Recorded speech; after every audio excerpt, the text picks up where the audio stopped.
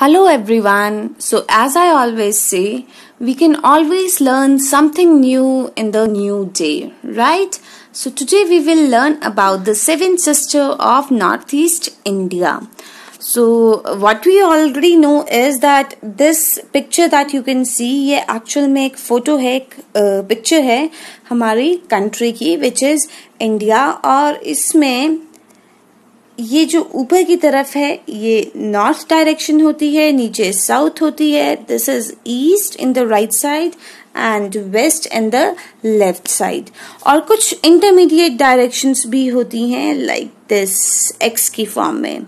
जो नॉर्थ और ईस्ट के बीच में है, वो है नॉर्थ ईस्ट जो साउथ और ईस्ट के बीच में है, वो है साउथ ईस्ट जो साउथ और वेस्ट के बीच में है, वो है साउथ वेस्ट और जो नॉर्थ और वेस्ट के बीच में है, उसे हम कहते हैं नॉर्थ वेस्ट।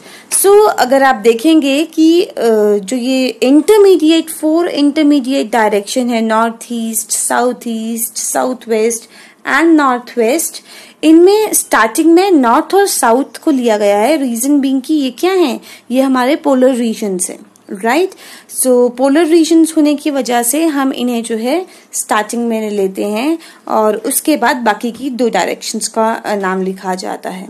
सो so, आज हम जानेंगे इन स्टेट्स के बारे में जो कि नॉर्थ ईस्ट इंडिया में हैं और जिन्हें बहुत ज़्यादा इग्नोर किया जाता है एंड यूजली बहुत ज़्यादा कंफ्यूजन होता है कि ये जो सेवन स्टेट्स हैं जिन्हें सेवन सिस्टर्स ऑफ़ इंडिया भी कहा जाता है। Seven sisters with a brother Sikkim brother के बारे में भी है। Tricks are there to learn about its location and its shape but वो हम बाद में करेंगे। आज हम इन सेवन सिस्टर्स पे फोकस करेंगे। सो so, ये जो सेवन सिस्टर हैं इनकी जो लोकेशन है कैसे इन्हें सीक्वेंस में रखना है ये हम देखेंगे। First is Meghalaya Assam Arunachal Pradesh Nagaland Manipur Mizoram and Tripura. So without wasting time we will move on with short story और you can say a trick right so first of all हमारी जो story है वो start होती है एक uh, इस state से जिसका नाम है मेघालय। सी अगर आप ध्यान से इसकी शेप को देखोगे, इसकी जो शेप है, वो क्लाउड शेप है। क्लाउड शेप का ये स्टेट है और इसका नाम है मेघालय। मेघालय दो शब्दों को जोड़ के बना है। Megh sorry it is megh plus aalya. Megh stand for cloud मेघ जो है वो क्लाउड के लिए स्टैंड करते हैं। और आल्य आल्य जो वर्ड है, ये घोंसले के लिए कहा जाता है, जो बर्ड्स का नेस्ट होता है, उसके लिए आल्य कहा जाता है।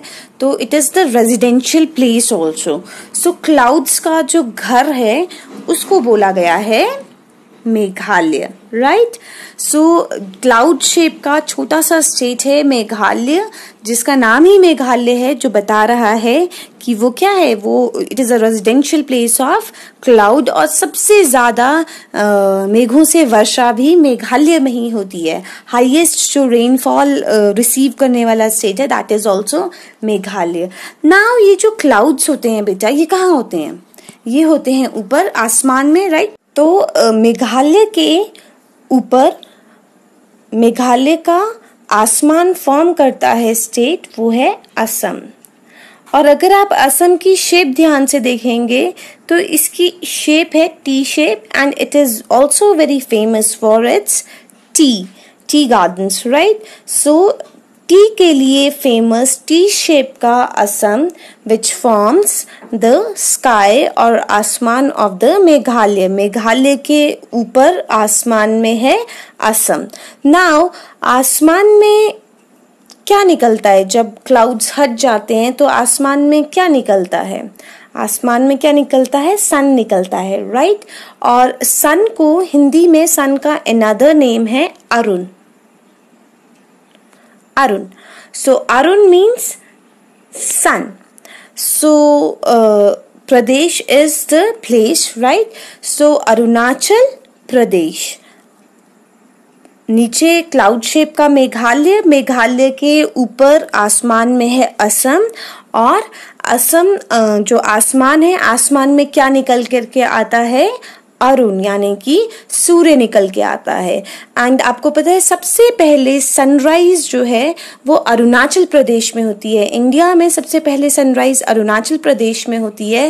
And this is the reason कि क्यों इस स्टेट का नाम ही अरुणाचल प्रदेश रखा गया यानी कि सूर्य का देश वो जगह जहाँ पे सबसे पहले सनराइज हो। So so, Arunachal Pradesh. Now जब बारिश हुई, पहले मेघालय में बारिश हुई मेघालय के आसमान में असम था, फिर क्लाउड्स छट गए और असम के ऊपर अरुणाचल प्रदेश आ गया। अब देखिए, जब बारिश के बाद धूप निकलती है तो अपने बिल में से क्या बाहर निकल कर के आता है? किसके बिल में पानी भर जाता है और फिर वो बाहर निकल कर के आता है? बरसात में बहुत निकल कर के आता है यूजली रेनी सीज़न में ज़्यादा आता है। It is naag right naag. So so, नाग से इस स्टेट का नाम पड़ा है Nagaland right Nagaland okay so Nagaland Arunachal Pradesh के बाद नीचे की तरफ़ को सबसे पहले निकल करके आया नागालैंड ओके? नागालैंड के बाद नाग के पास क्या होती है जो बहुत प्रीशियस होती है जो बहुत शाइन करती है which is also kind of jewel yes that उस नाग के पास होती है एक मनी राइट right? मनी होती है उसके पास एंड इसीलिए नागालैंड के ठीक नीचे जो स्टेट है, उसका नाम है मणिपुर। एंड आपको पता है, मणिपुर को ज्वेल ऑफ़ इंडिया भी कहा जाता है।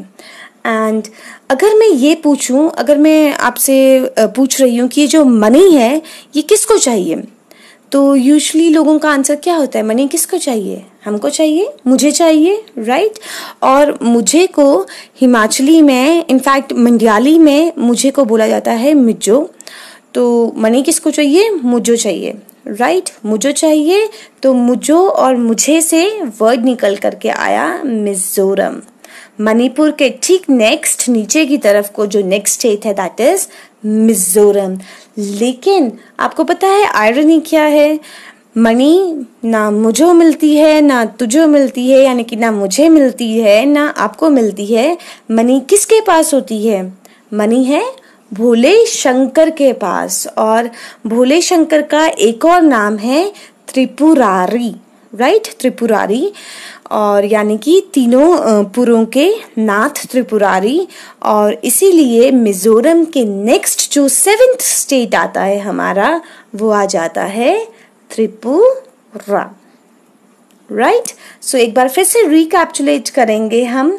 सबसे पहले क्लाउड शेप का मेघालय जहाँ पे बहुत ज़्यादा बारिश होती है which is a residing place of clouds also और मेघालय के आसमान में ऊपर है असम टी शेप का state which is very famous for tea और आसमान में जब बादल हटते हैं तो क्या निकल कर के आता है? अरुण, यानी कि सन निकल के आता है। सो अरुणाचल प्रदेश एंड जब सन निकल करके आता है, बारिश के बाद तो बाहर निकलते हैं नाग so it is Nagaland and नाग के पास होती है money so it forms the state Manipur.